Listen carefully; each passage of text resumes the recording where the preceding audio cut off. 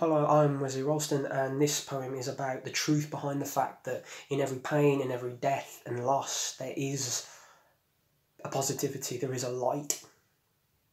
But it's a truth that's really hard to see. And I've turned to poetry to talk about it because I've spent years grieving, worrying I'll lose people, and seeing so much pain and loss.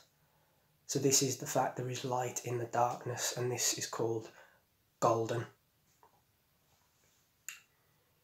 In the midst of the inclement weather, I become like a frenetic feather floating, falling, unable to find direction. But it's that beatific brightness beyond that's going to give the clarification. And in the midst of the storm that's raging, I become like a magnanimous swift, exerting, defying, persisting, trying to find its way home. And it's that horizon beyond that's going to help me no longer be alone in the midst of the flooding that's persisting.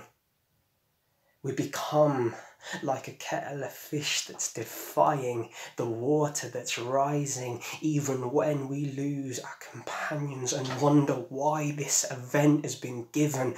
I remember that there's a sun that's rising and it will once again make the water that we swim in golden. Thank you.